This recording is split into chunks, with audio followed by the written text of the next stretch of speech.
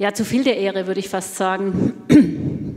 Hätte ich mir, als ich angefangen habe, Physik zu studieren, 1987, nicht träumen lassen, dass ich mal Lise Meitners Tochter genannt werde.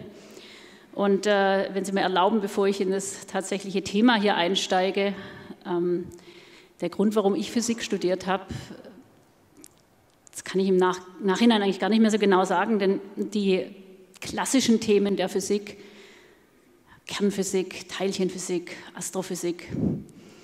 Das hat mich gar nicht so interessiert. Tut mir furchtbar leid, das so zu sagen. Mich hat eigentlich immer so das Leben interessiert. Aber ich hatte den Vorteil, dass ich ganz schlecht war im mir Dinge merken. Und deswegen habe ich nicht einen Augenblick daran gedacht, Bio zu studieren. Und auch keine Chemie. Ich habe das alles sofort wieder vergessen. Berechnen, das konnte ich immer schon ganz gut. Und deswegen habe ich Physik studiert. Das ist keine gute Art, zum Physikstudieren zu kommen. Und ich glaube, das hat sich bis heute nicht so richtig äh, geändert. Die Motivation, Physik zu studieren, ist immer noch ein bisschen sehr vom Zufall abhängig. Natürlich auch von den Lehrern, die man hat. Hier sitzen vermutlich überhaupt keine Adressaten, denn hier sitzen Leute, die haben schon Physik studiert oder sind gerade dabei. Aber es ist tatsächlich so, dass in der Schule die Physik rüberkommt als ein Fach, das technisch ist, das Antworten gibt, die vielleicht gar nicht so unbedingt verständlich sind, das mit Formeln irgendwie bewaffnet, deren Herkunft man gar nicht so richtig kennt. Was aber viel zu kurz kommt, sind die Fragen, die gestellt werden und die eigentlich die Seele der Physik sind. Fragen stellen, intelligente Fragen stellen über alles Mögliche. Völlig egal was, ob es jetzt Verkehrsströme sind, Aktien, Leben, das kann man alles mit Physik beantworten. Und ich glaube, das wird in der Schule zu selten gesehen und zu, zu, selten vermittelt, dass Physik eigentlich nicht notwendigerweise mit Teilchen oder Kristallen oder um Gottes Willen Kondensatoren zu tun hat, sondern mit den richtigen Fragen, um Probleme, die man vor sich sieht, objektiv und nachvollziehbar zu beantworten. Und meine Urfrage immer schon, seit ich denken kann, seit ich mir selber Fragen stelle, ist eigentlich die Frage, die jetzt hier auf der Folie steht, was ist Leben? Ist Leben konstruierbar? Diese Frage habe ich mir nicht gestellt, aber was ist Leben? Die Frage habe ich mir schon sehr oft gestellt und ich glaube, ich kann davon ausgehen, dass es jeder von Ihnen auch getan hat oder noch tut. Denn wir selber leben und wir empfinden uns als etwas ganz Besonderes. Wir verstehen uns eigentlich nicht so richtig. Wir verstehen das Leben als Phänomen eigentlich nicht so richtig. Es, es fasziniert uns, aber wenn wir es fassen wollen, was es denn sei, das Leben, kommen wir ganz schnell ins ganz komplizierte Zusammenhänge. Und ich glaube tatsächlich, dass die Frage, was ist Leben, äh, ist tatsächlich eine Frage, die Biologen sich fast nie stellen. Das sind fast immer nur Physiker, Chemiker, Philosophen, die diese Frage stellen. Die Biologen möchten es beschreiben. Die möchten verstehen, wie es funktioniert. Aber was es ist, ist eine Frage, die geht über die Biologie hinaus. Was ich hier am Anfang, ich fand es ganz witzig, dieses, als ich gegoogelt habe nach schönen Bildern so live, habe ich dieses Bild hier gesehen und das kommt von einem Laser Inertial Fusion Energy Projekt vom Lawrence Livermore und das hat mit Leben überhaupt nichts zu tun. Ja. Aber ich finde, was diese Männer da machen, das sieht aus, als wenn sie eine Zelle bauen würden, eine riesengroße. Wenn Sie da oben die Zelle sehen, gut, da innen drin ist noch nichts, ne, aber es, sozusagen die Hülle ist schon da. Deswegen fand ich das irgendwie so als Aufhänger ganz gut. Man möge mir verzeihen, dass es als Bild nichts mit Biologie zu tun hat. Gut, wir fragen uns also jetzt erstmal, was ist Leben überhaupt? Und ähm, kommen wie viele andere vor uns und eigentlich jede Menschheitsgeneration äh, wieder an Grenzen der an Beantwortbarkeit. Ähm, es gibt sehr viele Eigenschaften, die lebende Systeme haben sollten, die lebende Systeme haben. Und äh, diese Eigenschaften, sagen wir, da gibt es einen Kanon von Eigenschaften, den gibt, der ist immer schon sozusagen seit den alten Philosophen bekannt. Das Leben sich irgendwie vervielfältigt, ähm, dass es einen Stoffwechsel hat, dass also Moleküle ausgetauscht werden in einem System und das System sich trotzdem immer gleich bleibt. Leben kann wachsen, wie gesagt, es kann sich vermehren, reproduzieren. In, über die Jahre hin, über die Jahrzehnte und Jahrhunderte und Jahrtausende sind, sind weitere eher technische Kriterien dazugekommen. Ähm, Leben ist mit Information untrennbar verbunden. Jedes Leben, um es als Einheit zu definieren, ist im Grunde ein Informationsträger. Leben ist meistens in Bewegung, wenn auch nicht immer so offensichtlich. Die Erregbarkeit von Leben ist wichtig, das Leben mit seiner Umgebung interagiert, manchmal stärker, manchmal weniger stark. Sterblichkeit, sicherlich auch ein Definitionskriterium von Leben. Und in den letzten, sagen wir mal, 100 Jahren sind dann eben noch etwas komplexere Definitionskriterien dazugekommen. Evolvierbarkeit nämlich. Nachdem Darwin festgestellt hat, dass das Leben konstanter Evolution äh, unterworfen ist, ist wurde immer klarer, dass diese Evolvierbarkeit, diese, diese permanente Veränderlichkeit und Anpassung auf die, an die Umgebung wirklich ein ganz wesentliches Kriterium von Leben ist. Und in dieser Evolution hin zu besserer Anpassung hat sich Leben auch permanent komplexifiziert. Das Leben, das wir heute vorfinden, und ich denke, der eine oder die andere von Ihnen weiß, wie komplex einzelne Zellen schon sind, wie viele verschiedene Moleküle sich da drin befinden und welcher unfassbaren Vielfalt von äh, Wechselwirkungen die ausgesetzt sind. Leben ist intrinsisch komplex. Und dann habe ich noch einen Aspekt hingeschrieben, der mir intuitiv sehr wichtig erscheint, der aber vielleicht der allerschwerste ist in seinem, in seinem Fassen, äh, das, sagen, das zu beschreiben, was es denn bedeutet. Und also ich halte mich da ganz weg im Moment mit den technischen Antworten, die wir dann versuchen zu geben. Aber ich denke doch, dass es etwas ist, das Leben an sich auszeichnet, dass es irgendwie gerichtet ist. Das ist ein Prozess, der irgendwo hin will. Wir sagen ja sogar schon, dass Krankheitserreger etwas wollen. Das sind ja also noch nicht mal, wenn es Viren sind, noch nicht mal akzeptierte Lebewesen. Und trotzdem wollen die was. Jedenfalls beschreiben wir sie so. Ob wir damit irren oder ob die wirklich was wollen, remains to be seen. Was aber Leben auf jeden Fall immer ist, wenn wir es vorfinden, es ist immer zellulär. Es ist zellulär verfasst. Das hier ist eine Bakterienzelle, das ist also eine einfache Zelle. Unsere Körperzellen sind sehr viel komplizierter, die haben alle einen Zellkern. In der Bakterienzelle ist die Information, nämlich die DNA, im äh, sozusagen Zytoplasma frei zugänglich, nicht weiter verpackt. Doch, natürlich ist es weiter verpackt, aber nicht in einem Kern. Ähm, und dann hat es eine Hülle, die unterschiedlich kompliziert sein kann. Meistens, in fast allen Fällen, eine Lipidmembran beinhaltet. Und ja, dann eben noch ganz verschiedene Ausprägungen, die sie zu dem jeweiligen Organismus machen, der es dann eben ist. Entweder kann er schwimmen oder nicht. Oder er sagen, ist im Zellverbund mit anderen oder eben nicht. Interessant ist, dass diese die Errungenschaft zu sagen, dass Zellen aus Zellen hervorgehen, lange Zeit nicht bekannt war. Ja, also das ist erst so in Mitte des 19. Jahrhunderts äh, hat man sozusagen gebrochen mit diesen Vorstellungen, dass Leben aus Schlamm entstehen kann, spontan in irgendwelchem Urzeugungsprozess, sondern hat festgestellt, wenn wir eine Zelle haben wollen, wenn wir eine Zelle vorfinden wollen, dann muss da vorher in der in der Suppe, in der sie da entsteht, schon eine Zelle drin gewesen sein. Also Zellen entstehen nicht spontan. Die bilden sich nicht einfach aus Schlamm und Blitzen. Ja. Und es ist einerseits wissenschaftlicher Fortschritt, dahin gekommen zu sein, zu sagen, dass Zellen aus anderen Zellen hervorgehen. Aber es ist natürlich auch irgendwie unbefriedigend, denn es waren ja wohl nicht immer schon Zellen da. Im Urknall war vermutlich noch keine. Wo kommt die also her? Irgendwo muss die, ja, muss die ja entstanden sein, irgendwie. Und genau das, diese Frage, weist über die Biologie hinaus. Biologen lieben diese Frage nicht, die mögen die nicht. Aber ich finde die super spannend und ich würde die gerne beantworten.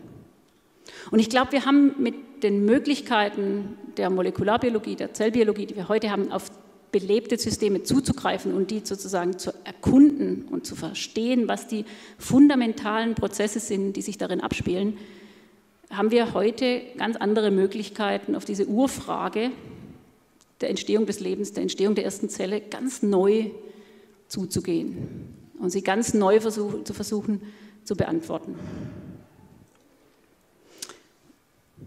Wenn man so will, suchen wir nach der kleinsten möglichen zellulären Einheit. Und da gibt es jetzt zwei Möglichkeiten, sich dieser kleinsten möglichen zellulären Einheit anzunähern.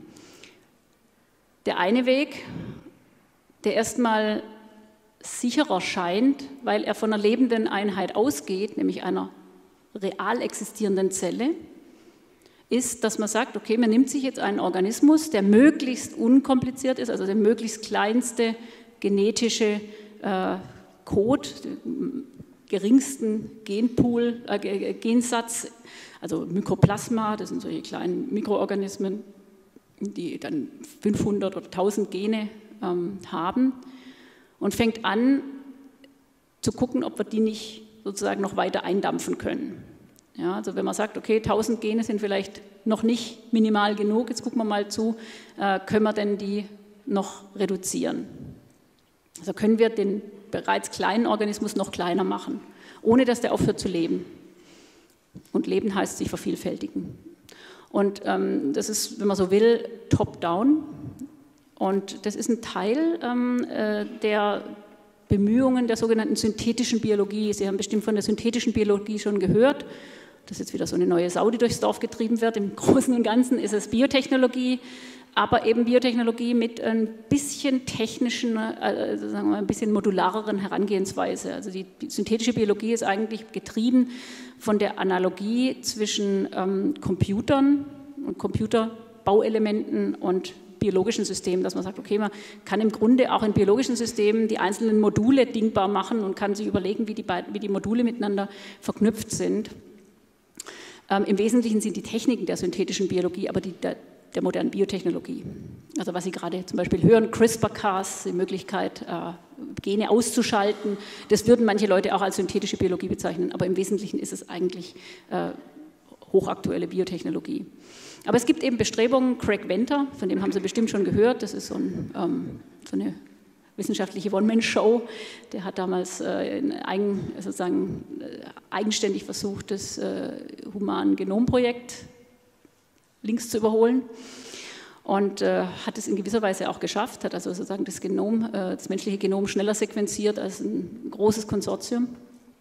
Und der hat sich jetzt eben vorgenommen, sozusagen den, die wirklich minimale äh, Zelle aus der konsekutiven und auch teilweise ähm, random Abschalten von Genen ähm, aus dem kleinsten bekannten Organismus äh, dann im Grunde zu so einer Urzelle zu kommen, die die wenigsten, ähm, sozusagen das klein, die kleinste Genausstattung hat, die man überhaupt braucht, um zu leben. Warum? Äh, es ist jetzt weniger der grundlagenwissenschaftliche Ansatz, obwohl der sicherlich auch eine Rolle spielt, aber man hofft eben, dass so eine absolut minimalisierte Lebenseinheit, die im Grunde nichts anderes tut, als Informationen zu prozessieren, dass es eigentlich ein ideales Tool wäre für die Biotechnologie, weil keine Energie abfällt für irgendwelche Prozesse, die nicht unmittelbar der Lebenserhaltung dienen. Also wenn man heutige ähm, biotechnologische Prozesse sich anguckt, wo mit E. coli-Bakterien zum Beispiel irgendwas hergestellt wird, dann bleibt eben sehr viel Effizienz auf der Strecke und kann nicht in Pro Produkte münden, weil zum Beispiel diese Bakterien sich gegenseitig oder mit, mit irgendeiner Umgebung interagieren.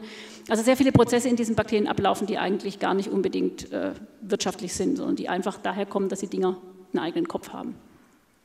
Und wenn man so will, ist das Ziel der Biotechnologie, den eigenen Kopf auszuschalten, zu sagen, hier, du musst jetzt nur noch für mich das Protein machen, das ich von dir will. Gut, also das ist eine, die eine Herangehensweise. Und die andere Herangehensweise, das ist eben sozusagen die grundlagenwissenschaftliche, zu sagen, okay, ähm, das Ganze muss irgendwann mal auf Molekülen aufgebaut haben und auf Prozessen aufgebaut haben, die nicht Teil eines lebenden Systems waren.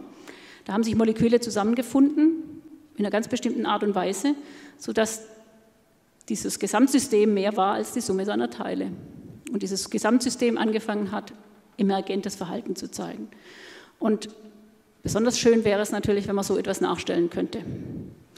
Das große Problem liegt darin, erstens mal ist es gar nicht so einfach, Module zusammenzustellen, also mit Atomen zu bauen, das können wir uns sowieso abschminken, das, das sind wir ewig unterwegs. Das heißt, man geht wahrscheinlich sinnvollerweise nicht von Atomen aus, sondern schon von bekannten Makromolekülen. Und das zweite große Problem ist, dass wir nicht wissen, wann das Ding eigentlich anfängt zu leben. Wir haben kein wirkliches Kriterium, wo wir sagen, okay, wenn das erfüllt ist, dann lebt es. Allerdings haben wir Kriterien, wo es auch schon mal sehr schön wäre, wenn sie erfüllt wären. Zum Beispiel ein System, das sich selbst organisiert und sich teilen kann. Ob das Ding dann lebt, ob wir das dann als Leben akzeptieren würden, ist, steht ja noch dahin. Aber erstmal müssen wir dahin kommen. Das ist im Grunde das, was ich mit meiner Forschung versuche. Und warum ich glaube, dass es ein erfolgversprechenderer Weg ist hin zu der minimalen Zelle als der Top-Down, also das sozusagen Re-Engineering von, von Organismen, das würde ich Ihnen gerne in, dieser, in diesem Cartoon hier äh, zeigen. Ich denke, Sie sind, dadurch, dass Sie Physiker sind, wahrscheinlich mit Rube Goldbergs äh, tollen Maschinen vertraut. Die sind so schön sinnlos. Ja. Das war ein äh, Cartoonist in ich glaub, 50er, 60er Jahre, der also ähm, irgendwie sich ganz tolle Maschinen überlegt hat für ähm, Gegenstände, die man eigentlich kennt. Was man hier zum Beispiel auf den ersten Blick erkennt, ist, dass es ein Bleistiftspitzer ist. Dieser Bleistiftspitzer funktioniert so, dass draußen Wind geht, man einen Drachen steigen lässt. Der Drachen wird dann hier ähm, mit einer sozusagen also mit der Glasglocke verbunden, macht das Türchen auf und da leben Motten drin, die kommen raus, fressen dieses Hemd auf. Es wird dann leicht, das heißt, der Stiefel kommt runter und schaltet ein Bügeleisen an. Das Bügeleisen liegt auf so, einem, auf so einer Hose oder sowas, brennt dann ein Loch rein, das stinkt. Dieser Rauch wird in den, in den hohlen Baum eingeleitet, wo ein Opossum lebt. Das Opossum mag das nicht, springt in den, äh, hier in den Korb, der kommt runter, dann geht hier ein äh, so so ein, äh, ja, ein Käfig hoch. Hier ist ein Specht und der spitzt dann den Bleistift.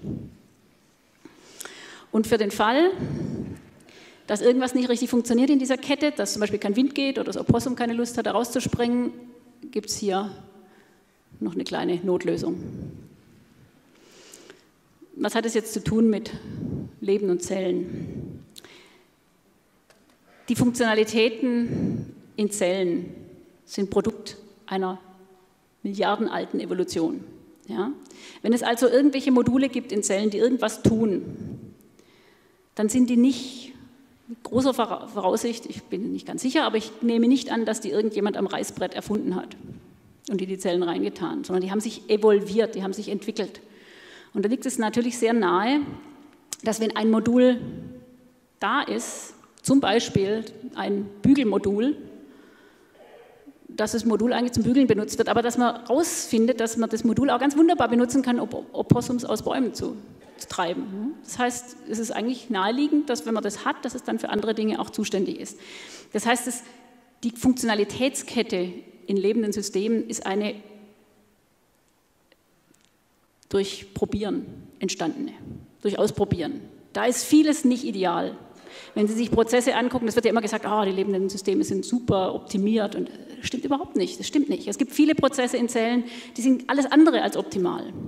Schon allein die CO2-Fixierung, eine ganz, ganz wesentliche Reaktion, super, super ineffizient.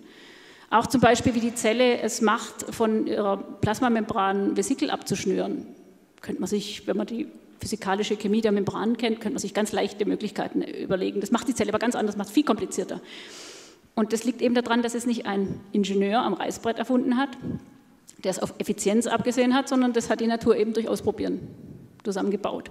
Und die Wahrscheinlichkeit, dass wenn man jetzt irgendwas rausnimmt aus dem System, das sich evolviert hat, dass das Ganze zusammenbricht, obwohl das, was man da rausgenommen hat, vielleicht nicht unbedingt das Allerwichtigste war für eine ganz bestimmte Reaktion.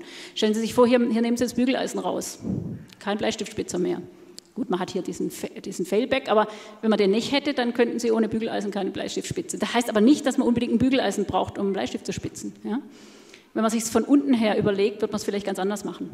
Und genau deswegen glaube ich, dass diese äh, Top-Down-Möglichkeit, Gene auszuschalten und zu gucken, ob die notwendig waren, das führt uns nicht richtig ins Ziel dessen, was wir wollen.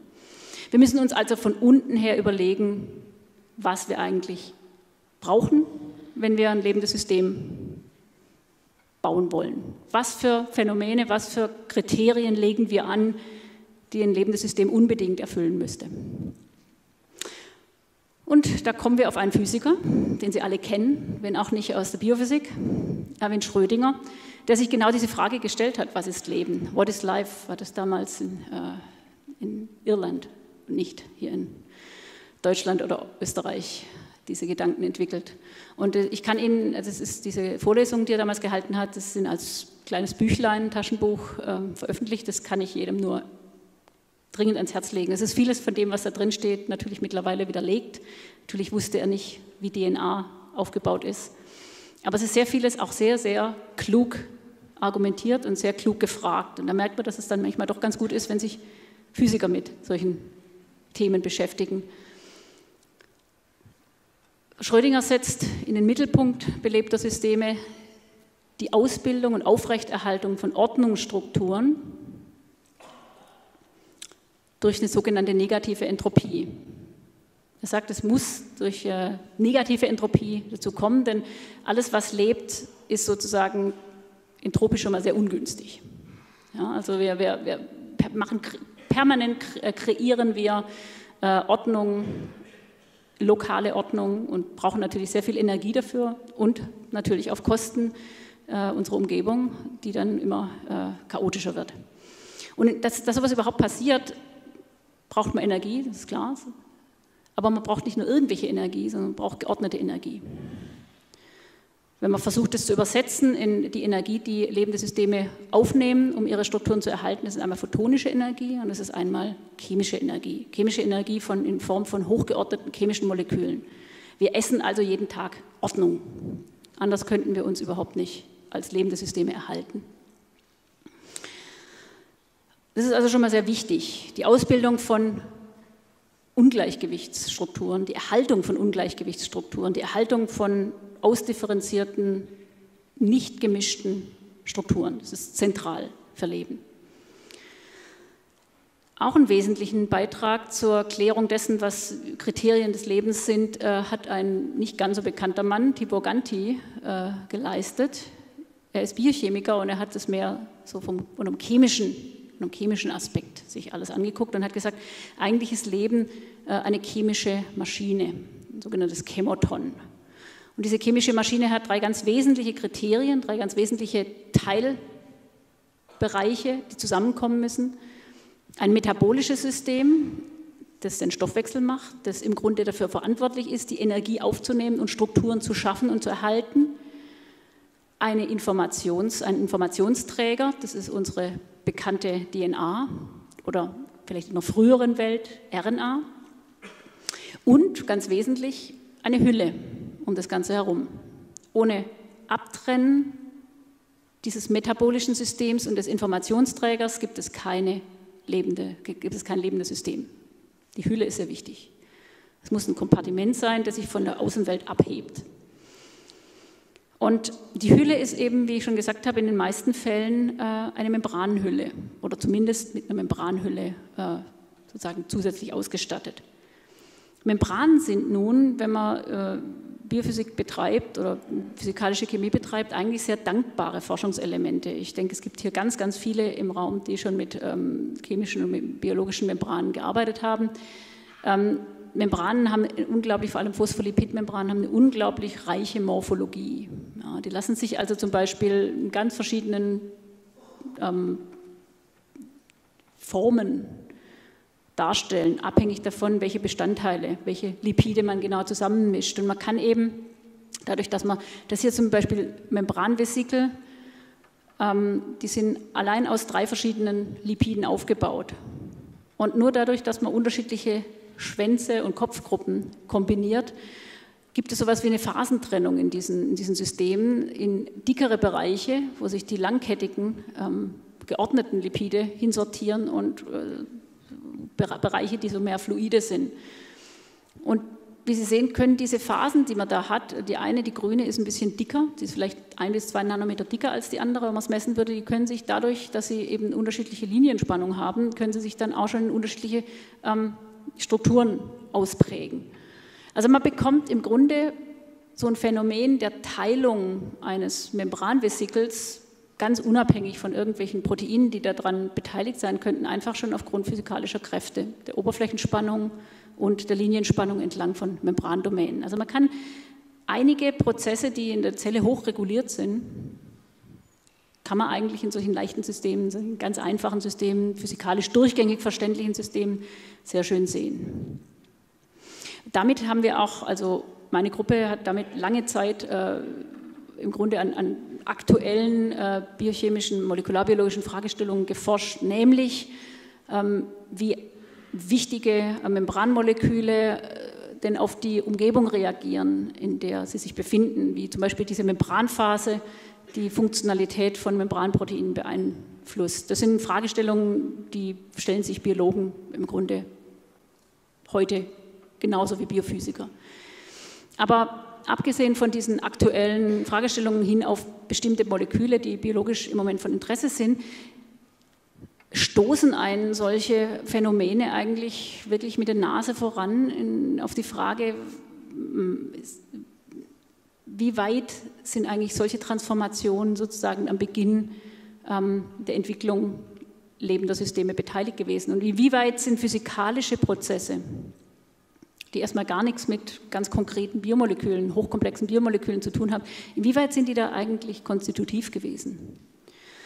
Und ein Prozess, der eben, den habe ich ja vorher angedeutet, die Entmischung, die Musterbildung, ein Prozess, der ganz, ganz fundamental ähm, nicht nur Kennzeichen von biologischen Systemen ist, aber auch und eben zentral für die Ausbildung von Strukturen in Zellen, ist der Prozess der Musterbildung.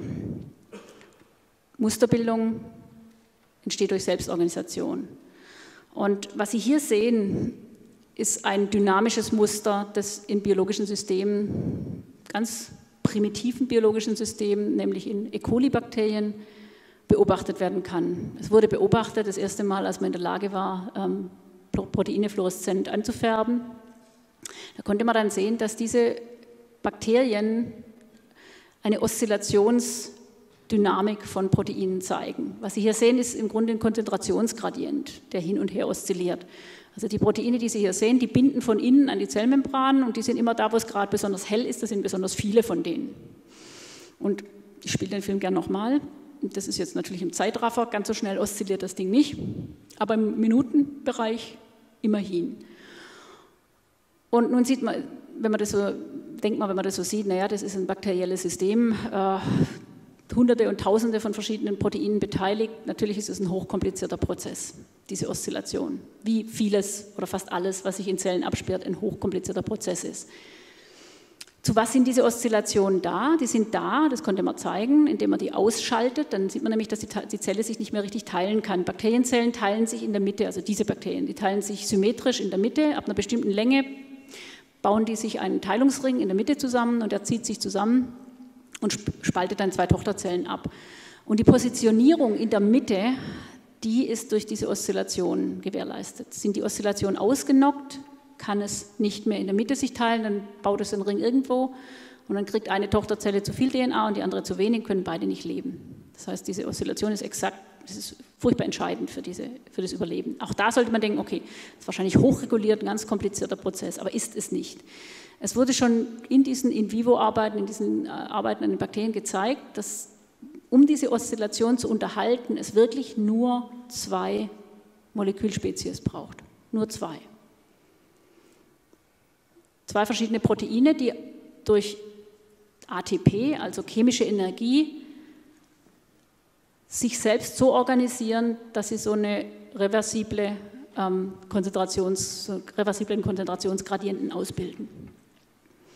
Und es war natürlich für uns äh, im Grunde ein Aufhänger zu sagen, gut, das sind wirklich nur zwei Proteine, die ein relativ komplexes Phänomen, also ein Urphänomen eigentlich lebender Systeme, nämlich die Ausbildung von Gradienten nach äh, ausbilden. Können wir also diese Proteine, die das machen, können wir die uns rausholen aus der Zelle und mal gucken, was die eigentlich im Reagenzglas machen.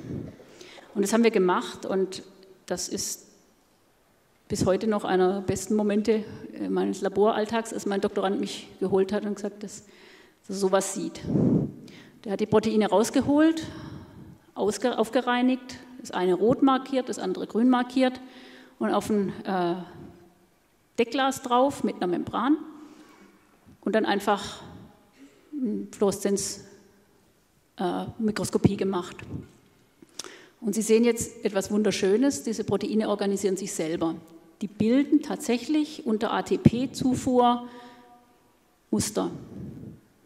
Wenn man ein bisschen rausfährt, dann sieht man das, was einem vielleicht von verschiedenen anderen selbstorganisierenden Systemen schon vertraut ist, diese, diese ähm, Spiralwellen. Ich denke, viele kennen die Beluso-Sabatinski-Reaktion, wo man sowas sieht, Calciumwellen, Kardiak. Also man kann in ganz verschiedenen äh, Kontexten solche Spiralmuster sehen. Ähm, Im nicht-biologischen Bereich bei der äh, heterogenen Katalyse, CO-Oxidation, wurde genau sowas gesehen. Und das Interessante ist, dass was da passiert, das sage ich jetzt bloß so als Seitenbemerkung, ich kann da nicht ins Einzelne gehen, das ist im Grunde auch eine heterogene Katalyse. Eine Katalyse eines, ähm, einer, einer, einer, biologischen Transformation, diese, die die Membran braucht, um sich ähm, zu bilden. Die Membran ist, wie man so will, der, Katal der Katalysator. Was, was, sehen wir jetzt hier? Was, äh, wie muss man sich das vorstellen? Jetzt gehen wir mal auf die Einzelmolekülebene. Ich habe meine wissenschaftliche Karriere im Grunde nicht mit spekulativen Fragen zum äh, Ursprung und äh, Ziel des Lebens äh, gemacht, sondern mit der Entwicklung von Einzelmolekülspektroskopischen Methoden. Und genau solche Methoden haben wir darauf losgelassen. Und wenn man jetzt die einzelnen Moleküle markiert und auf der Membran beobachtet, dann sieht man, dass sie das was tun, was eigentlich alle Moleküle auf Membranen tun, die diffundieren. Ganz klassisch, braun, sie haben keine bestimmte Vorzugsrichtung, die, die gehen an die Membran, diffundieren da so ein bisschen rum und irgendwann gehen sie wieder ab. Und nur wenn man sozusagen das große Ganze sieht, wenn man also nicht einzelne Moleküle markiert, sondern alle oder viele, dann sieht man, dass die in unterschiedlichen Zonen binden. Manche binden vorne an der Welle, bleiben dann Weilchen da und gehen dann wieder ab. Das ist im Grunde, ich vergleiche sehr gern mit diesen Laola-Wellen in Fußballstadien, wo im Grunde die Leute alle sitzen also die bleiben an ihrem Platz, ja, die stehen auf und setzen sich wieder hin, die laufen nicht umeinander und trotzdem läuft die Welle durch. Es ist einfach die, Koordina die Koordination dieses Aufstehens und Hinsetzens, die da durchläuft. Und genau das ist hier auch der Fall. Das ist im Grunde die Koordination der Membranbindung in Dissoziation, ähm, die man hier im Grunde in, als großes Ganzes, als emergentes Verhalten sieht. Und ich gehe jetzt nicht in das Einzelne und erzähle Ihnen jetzt nicht ganz genau, was da im Molekül sich tut, aber vielleicht als wichtigste Information die beiden Moleküle. Es gibt ein Min-D-Molekül, das ist sozusagen das, das wir in, in, diesen Bakterien gesehen haben, dass es helle war. Das ist ein Molekül, das ATP, also die chemische Energie, bindet und dann eine Konformationsänderung macht. Das flippt nämlich einen Membrananker aus und geht dann an die Membran, solange das ATP da dran ist. Und wenn das ATP in ADP äh, umgesetzt wurde, dann dissoziiert es und dann kommt der Membrananker wieder rein und dann geht das Molekül wieder von der Membran ab. Und damit es umgesetzt wird, damit das ATP überhaupt umgesetzt wird, braucht dieses MinD ein anderes, das zweite äh, Protein, das MinE. Und nur wenn die beiden zusammen sind, passieren im Grunde diese Zyklen von Membranbindung und Dissoziation und passieren koordiniert. Das ist natürlich dann auch alles hochkooperativ. Es muss eine bestimmte Konzentration an einer bestimmten Stelle sein, damit überhaupt was rangeht. Und das wird dann sehr kompliziert. Da gehe ich jetzt nicht im Einzelnen ein. Sehr wichtig ist aber die Information, dass die Membran wirklich der Katalysator dieses Prozesses ist. Und nun können wir natürlich, weil die Membran so, so eine wichtige Rolle spielt, können wir natürlich uns fragen, was passiert denn, wenn man die Membran jetzt zuschneiden, wenn wir die jetzt verändern? Ja, und das haben wir getan. Also wir haben jetzt nicht das ganze, das Deckglas mit Membran gecoatet, sondern nur so einen, so, einen, so einen roten Teppich im Grunde aus Membran gemacht, der da um die Ecke ging. Und siehe da, diese, diese Moleküle kommen aus der Lösung, erkennen das Muster auf der Oberfläche und gehen ganz treu und brav äh, diesen ähm, vorgefertigten Membranpfaden nach. Egal wie sinnlos wir sie auch machen. Und interessanterweise ist, wenn wir die Membranteppiche so groß machen wie ungefähr die Wellenlänge, dann sehen wir, und, zum Beispiel rechteck, äh, rechteckige äh, Strukturen haben, dann sehen wir, dass die, die Wellen sich entlang der Diagonale von diesem Rechteck ausbreiten. Und da haben wir uns erst den Kopf gekratzt, warum eigentlich? Wir haben eigentlich erst mal in unserer Naivität überlegt, dass es eigentlich in die Richtung gehen müsste. Nein, es findet die längste Achse und die längste Achse ist die Diagonale. Diese Oszillationen, Sie erinnern sich, gehen in der Zelle entlang der längsten Achse. Und diese Längsachsenidentifikation ist was, das wirklich dieses, dieses Reaktionssystem als solches schon erkennt. Das ist sozusagen das Gehirn dieses biochemischen Systems, erkennt die längste Achse und ordnet die Muster dahingehend an. Dieser Film hier ist komplett sinnlos. Ich zeige ihn nur, weil er so schön ist. Was wir da gemacht haben, ist, dass ähm, das ist im Grunde, da haben wir in, äh, in ein äh, weiches Polymer, also PDMS, so eine Art Silikon, haben wir so kleine äh, Riefen reingeschnitten und haben unsere Proteinmischung da drauf geschmissen. Und das ist ausgetrocknet, sodass die Proteine sich wirklich nur in diesen, in diesen Trögen hier bewegen können. Also oberhalb ist, ist, äh, ist Luft. Und da sieht man dann eigentlich schon sehr schön, dass die zwar immer noch fortschreitende Wellen sind, aber es geht schon in Richtung einer Oszillation. Ja, also das kann man, wenn man will, auch als Oszillation deuten. Das heißt, was wir hier folgern, ist, dass im Grunde, um diese schönen Wellen in eine echte Oszillation zu überführen, wie sie in den Bakterien zu sehen ist, brauchen wir eigentlich gar nicht viel. Wir müssen einfach nur das Volumen begrenzen. Und das haben wir gemacht. Wir haben jetzt nicht mehr flache Oberflächen mit Membran, sondern wir haben kleine Badewannen gebaut, die ungefähr zehnmal so groß sind wie Bakterienzellen. Die Wellenlängen, die wir in, auf unseren äh, Membranoberflächen sehen, ist auch ungefähr zehnmal so groß wie die Wellenlänge in Bakterien. Und wenn wir die mit Membran auskleiden, sodass die Proteine nach wie vor an die Membran binden können, dann können wir genau dieses Oszillationsmuster reproduzieren, das wir in Zellen sehen. Exakt genauso. Wenn man das vergleicht, die Chymographen, wenn man guckt, wie, wie sieht die Verteilung über der Zeit aus, kein Unterschied zwischen bakteriellen Systemen, super komplizierten Systemen und diesem super einfachen System hier, das nur aus zwei Proteinen und ATP besteht. Und da kann man natürlich damit rumspielen, das machen Physiker ja sehr gern und das wachsen lassen und gucken, was passiert eigentlich, wie reagiert jetzt die Periode dieser Oszillation auf die Länge dieser Kompartimente. In Bakterienzellen ist es ja so, dass die äh, Oszillation dieser, der, dem Wachstum der Bakterien folgen muss und irgendwann in die beiden Tochterzellen vererbt werden muss. Das heißt, ab einer bestimmten Länge, wo die Teilung dann passiert, müssen eigentlich zwei Tochteroszillationen erfolgen. Und siehe da, das kann man sehr schön nachstellen, obwohl da überhaupt kein Teilungsapparat drin ist und wir eigentlich nichts anderes machen, als unterschiedliche Längen anzubieten. Einer, also die, Sie sehen hier, die Periode der Oszillation wächst mit der Länge und sobald sie eine bestimmte Länge überschreitet, also da ist es die, die, Verhältnis zwischen Länge und Breite wichtig, die ist bei Bakterien ungefähr 4 bis 5, wenn sie sich teilen. Und wenn wir genau dieses Verhältnis nachstellen, dann sehen wir tatsächlich auch diese Aufspaltung in zwei Tochteroszillationen. Auch alles sozusagen intrinsisch in diesem intelligenten biochemischen System. Und was man auch nachstellen kann, man kann es so tun, als würde die Zelle sich teilen. Ja, man kann also den, den, dieses Kompartiment so bauen, dass es einen kleinen, eine kleine Engstelle hat, und da kann man sehr schön sehen, dass wenn man die Zelle zwingt, sich bei, einem zu kurzen, bei einer zu kurzen Größe zu teilen, dass man dann im Grunde die ganze Oszillationsachse und das gesamte, die gesamte Symmetrieebene dieser, dieses, dieses Systems umdreht. Das hat also einen guten Grund, dass er erst in einer bestimmten Länge sich teilt. Nun bin ich schon seit einigen Jahren, äh, haben es gehört, im Max-Planck-Institut für Biochemie. Das heißt, wir machen jetzt nicht nur die physikalischen Aspekte daran, sondern auch die biochemischen. Und jetzt ist natürlich die Frage, was passiert denn, wenn wir die Moleküle ändern? Wir wissen ja, das sind Proteine und diese Proteine haben ganz bestimmte Eigenschaften, die haben eine ganz bestimmte Struktur. Jetzt können wir natürlich auch mal an den Proteinen drehen, nicht nur an den Oberflächen, sondern auch mal an den Proteinen. Und modifizieren die mal und gucken mal, was passiert, wenn wir jetzt die Proteine verändern. Vor allem, was ganz wichtig ist, ist die Membranbindungsstärke,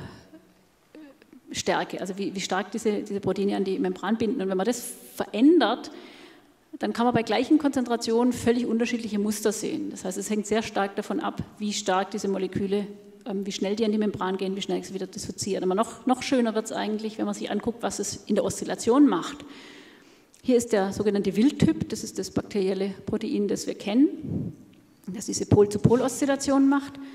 Wenn man jetzt die Affinität zur Membran kleiner macht, dann sieht man, dass diese Pol-zu-Pol-Oszillation sich praktisch in so eine Rundumbewegung ähm, aufsplittet Und wenn man dann noch weitergeht und die Affinität noch weiter runter regelt, dann wird von dieser Längsoszillation plötzlich eine Queroszillation. Und das ist im Grunde alles das, diese kleine Schaltstelle der Membranaffinität, die uns vom einen ins andere übergehen lässt.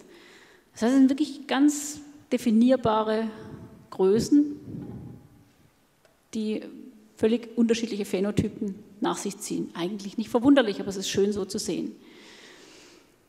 Ja, das ist natürlich zwar schön, jetzt haben wir, ich denke mal, ein sehr schönes Beispiel, wie man, ein, wie kompliziert scheinende äh, Phänomene, die sehr, sehr wichtig sind für lebende Prozesse, vereinfachen kann. Aber was eigentlich auf unserem, ja, sozusagen unser Zukunftsziel ist, ist nicht nur Polarisation und äh, Ausbildung von Gradienten nachzubilden, sondern tatsächlich ein System zu bauen, das sich selber teilen kann. Wir sind da ja schon ganz gut im Geschäft, denn dieses äh, E. coli, diese äh, Oszillation, die ist ja eigentlich dafür zuständig, den Teilungsring zu positionieren. Ja, sein also E. coli positioniert diese Oszillation, den Teil, die Teilungsebene. Und das muss man ja tun, um äh, etwas kontrolliert zu teilen. Was aber natürlich ebenso wichtig ist oder vielleicht noch wichtiger, ist die, tatsächliche, die tatsächlichen Akteure, die dann diese Teilung zustande bringen. Und es ist nun in Bakterien ähm, ein Teilungsring. Man kann das sehr schön sehen mit optischen Methoden. Das ist also sich Ringe ausbilden, die sich dann zusammenziehen. Und diese Ringe basieren auf einem Protein, das FTSZ heißt. Das ist ein Protein, das ist relativ verwandt mit dem Tubulin, das diese Tubuli, Mikrotubuli-Filamente in äh, menschlichen Zellen macht. Wenn man dieses Protein aufreinigt und markiert und auf eine Membran bringt, dann sieht man so sehr schön, das, das bildet Filamente aus. Allerdings keine, keine Kringel, keine, keine Kreise. Wenn man allerdings Energie einfüttert, auch hier wieder in Form, nicht in Form von äh, ATP, sondern von GTP, dann sieht man, wie diese gekrümmten Filamente plötzlich, ich weiß nicht, ob gut man sieht, aber man sieht, ich, ich denke, Sie können sehen, dass tatsächlich hier sich Kreise bilden, Ringe bilden und dass diese Ringe sogar sehr dynamisch sind. Die, die, die rotieren, wie man hier sehr schön sieht im Uhrzeigersinn. Ja. Das ist eine permanente Assemblierung und Disassemblierung von Protofilamenten, die einen großen, an einen großen Ring bilden. Auch das ist ein selbstorganisierender, energiegetriebener Prozess und der ist auch sehr einfach. Es reicht aber natürlich nicht, dass es Kringel bildet, es muss auch in der Lage sein, Membranen zu deformieren. Es muss ja Kraft aufbringen, um, äh, die, äh, um diese Krümmung tatsächlich zu zeigen. Da wird es schon schwieriger. Wir sehen, das hier sind, das ist eine sehr schöne Abbildung dieser Ringe in Bakterienzellen. Also das ist gerade eine, eine Bakterienzelle, die sich teilt. Und wenn wir diese, diese, diese Proteine, diese Ringproteine jetzt auf Membranen draufwerfen, dann sehen wir bei normalen Vesikeln eigentlich nicht viel. Erst wenn wir die Membran ganz weich machen, ja, wenn wir zum Beispiel den osmotischen Druck innen sehr viel kleiner machen als außen, also sehr weiche, weiche Membran sind, dann kann man tatsächlich sehen, wie ähm, diese Filamente in der Lage sind, die Membran zu verformen. Allerdings, das ist ja noch nichts hier. Ne? Also das ist natürlich noch von, von einer wirklichen Kontraktion und einer wirklichen Teilung sehr weit weg. Allerdings muss man auch sagen, die Maßstäbe sind ganz andere. Bakterienzellen sind normalerweise ein Mikrometer im Durchmesser. Das heißt, dieser Mikrometer, die, die die Ringe hier in den Bakterien ausbilden, diese Mikrometer sehen wir tatsächlich auch schon hier.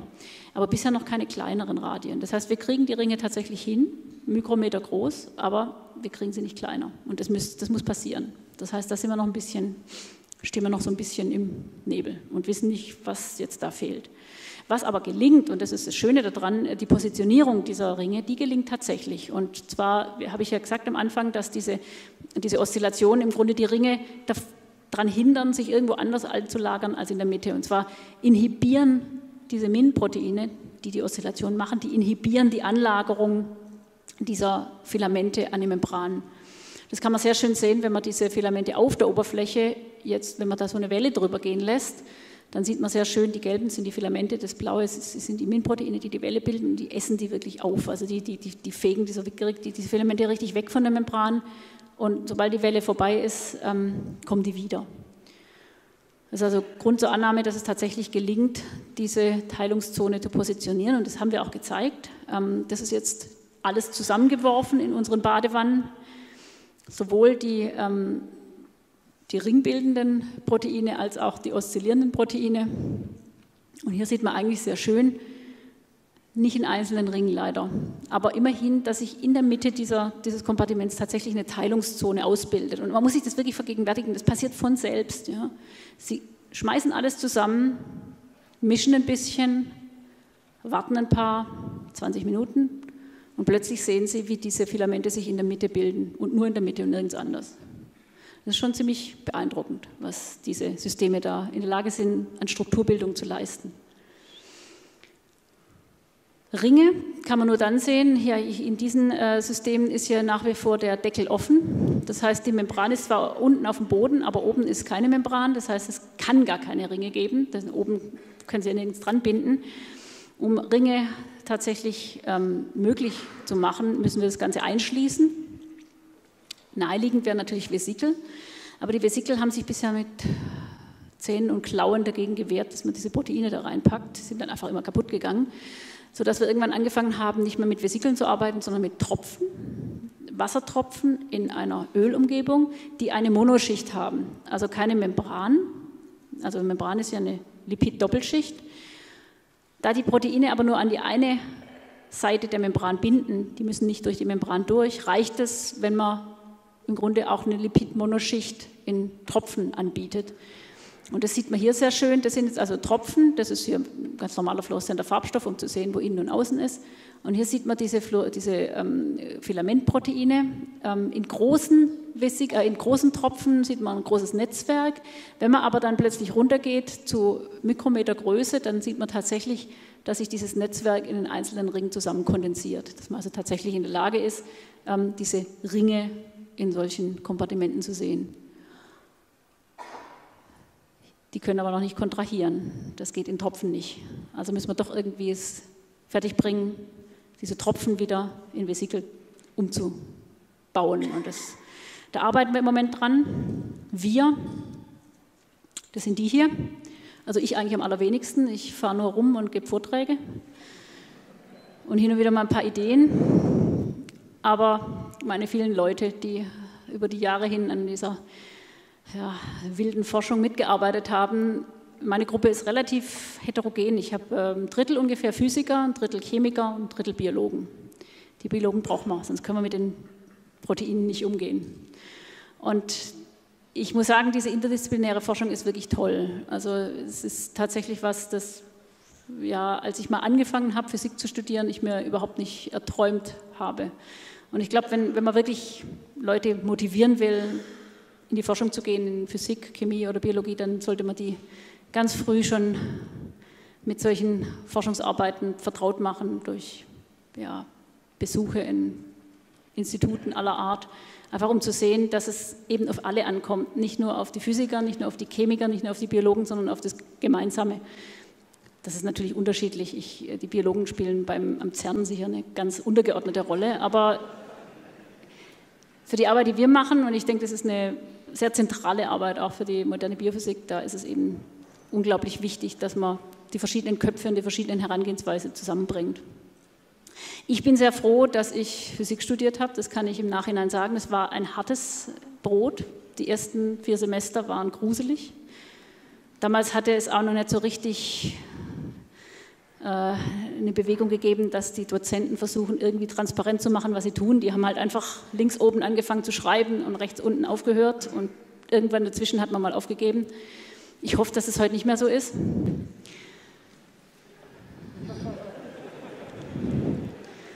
Aber ich kann nur sagen, wenn Sie noch in dieser Phase sind und darunter leiden, halten Sie durch, es lohnt sich. Sobald Sie das Labor betreten und Ihre eigene Forschung machen dürfen, wird es wunderbar. Ja, in diesem Sinne, einen schönen Abend noch und viel Spaß bei der Physik.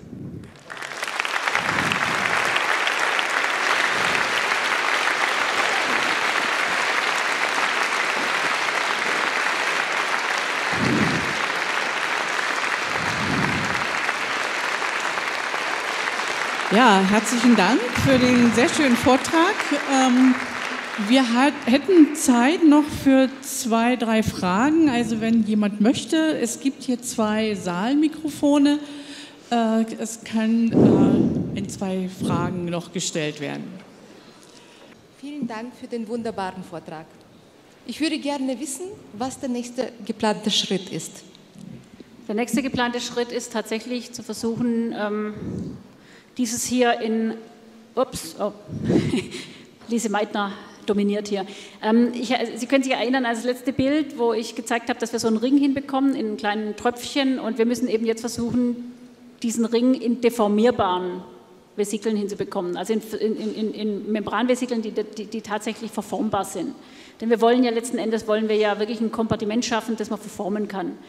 Es ist natürlich ein bisschen, es führt so ein bisschen ab von äh, den tatsächlichen Bildern, die man dann im Labor sieht, dass ich immer runde Dinger zeige.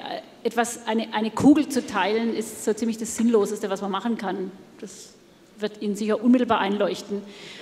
Bakterien sind elongierte Systeme und äh, sozusagen so ein zylinderförmiges Objekt zu teilen ist sehr viel dankbarer als eine Kugel zu teilen. Das heißt, wir müssen in der Lage sein, unsere ähm, Vesikel sozusagen in so eine bakterienähnliche Form zu bekommen und dann tatsächlich zu hoffen, dass wir dem Protein auf die Schliche kommen und herausfinden, was es denn genau braucht, um diese Kontraktion zu machen. Das wissen wir auch noch nicht. Ähm, vielleicht eine Frage zur weiteren Perspektive in dem, was Ihnen vorschwebt. Werden Sie dann für die Zelle, die sich vielleicht mal teilt, um die äh, Replikationsmaschinerie symmetrisch zu teilende Mitosespindel brauchen oder gibt es Prozesse, die. Nee, das, das, das denke ich äh, eigentlich nicht. Ich meine, wir müssen, natürlich, wir müssen natürlich eine Informationseinheit irgendwann da reinbringen, sonst macht das Ganze ja keinen Sinn. Im Moment arbeiten wir ja nur an der Mechanik. Ähm, das heißt, es muss dann im Grunde eine ein Genom, entweder DNA oder RNA basieren, das sich dann repliziert. Das heißt, wir müssen auch die Replikation äh, nachbauen. Das macht man im Moment immer noch mit, indem man die äh, Maschinerie benutzt, die die Zelle benutzt. Das sind natürlich hochkomplexe Maschinerien, Ribosomen, ja, also das ist nicht so einfach. Aber äh, auch da gibt es schon Ansätze, wie man sozusagen ribosomale äh, Einheiten tatsächlich auch auf minimale Module runterkocht. Was wir auch brauchen, ist ein Metabolismus. Im Moment geben wir das ATP ja immer noch zu. Das heißt, irgendwann müssen wir in der Lage sein, irgendwie sich selbst neu mit Energie versorgendes System, zum Beispiel durch Lichtenergie, zu bauen. Also da gibt es noch viele, viele, viele ähm, Dinge, die zu knacken sind. Wir sind jetzt wirklich, wir kratzen gerade mal an der Oberfläche. Ja. Wenn man Atome bewegt mit einem Rastersondenmikroskop, da gewinnt man ja eine ganz besondere Beziehung dazu, aber das sind ganz klar, ist ganz klar kein Leben. Jetzt hatten Sie gesagt, das ist hoffnungslos vom, vom Atom aus äh, bottom-up zu betreiben. Wie viele Atome braucht man denn für Leben? Was würden oh, Sie schätzen? Ist, na, das, das, kann ich, das kann ich wirklich nicht beurteilen. Ich, äh, ich, ich, ich möchte es eigentlich nicht so gern auf atomarer Ebene beantworten oder auf, auf der sozusagen molekularen Ebene, sondern ich würde es lieber auf Funktionseinheiten runterbrechen. Ähm, wir arbeiten im Moment mit Proteinen. Proteine sind von der Evolution hochgezüchtete Maschinen. Das ist vollkommen klar. Ja. Also diese Proteine, die wir hier haben, die sind zwar relativ einfache Proteine, aber sind immer noch viel, viel komplizierter als Atome. Hunderte und Tausende davon. Ja. Also die können wir nicht selber zusammenbauen. Aber was uns vielleicht gelingt, und da bin ich eigentlich relativ optimistisch, ist, vom Molekül wegzugehen und auf die modularen Funktionseinheiten zu gehen, zu sagen, zum Beispiel Membranschalter. Unser Protein hat einen Membranschalter. Das wird an die Membran rangeklebt und wieder weggeholt. Dieser Membranschalter hat ganz bestimmte, ein ganz bestimmtes Aussehen, das ist eine amphipathische Helix, das muss aber keine amphipathische Helix sein. Man kann auch mit kleineren anderen Funktionselementen etwas eine Membran dranhängen und wieder abmachen. Das heißt, was uns eigentlich gelingen muss, ist zu versuchen, diese Funktionseinheiten zu definieren, zu sagen, welche Module, funktionalen Module brauchen wir. Und dann können wir uns die Gedanken machen, wie könnten wir, was ist denn die kleinste mögliche Einheit für so ein Funktionsmodul. Und da kommt man überraschenderweise relativ, auf relativ simple Lösungen manchmal. Danke. Also, äh, wenn ich das korrekt verstehe, äh, nehmen Sie diese Proteine aus Zellen, die schon mal gelebt haben. Also setzen das künstliche Leben aus was zusammen, was schon mal Leben war. Gibt es auch Leute, die daran arbeiten, das mehr oder weniger aus Aminosäuren oder so schon zusammenzubauen? Also, ähm, aus Aminosäuren jetzt nicht, also da, da, sind einfach lebende Systeme ungeschlagen, Aminosäuren zusammenzubauen. Aber wo es zum Beispiel Ansätze gibt, gerade im Hinblick auf diese Funktionselemente, Sie haben sicher alle von DNA-Origami gehört, ja, also wo man mit DNA baut, Funktionselemente baut auf DNA-Basis. DNA ist eigentlich kein Funktionsträger in der Zelle, sondern Informationsträger. Trotzdem kann man, wenn man es schlau anfängt, DNA in verschiedene formen und Strukturen kriegen und kann es sie sogar funktional machen. Und da gibt es tatsächlich Ansätze, das, äh, da machen wir auch Kooperationen mit verschiedenen Leuten, zum Beispiel Hendrik Dietz in, in, an der TU in München, ähm, dass man wirklich versucht, Proteine nachzubauen mit anderen Polymeren. Ob das jetzt DNA ist oder vielleicht irgendwelche chemischen Polymere, das ist halt das, was man am besten kann. Aber es müssen keine Proteine sein. Die Idee ist tatsächlich zu verstehen, was die Funktionsmodule sind. Dankeschön. Ja, schönen Dank auch noch für diese Diskussion, Petra. Und ähm, ich würde jetzt die Session schließen äh, und aber dir nochmal herzlich danken für den wunderbaren Vortrag. Und ähm, ich wünsche Ihnen allen noch einen schönen Abend. Auf Wiederhören.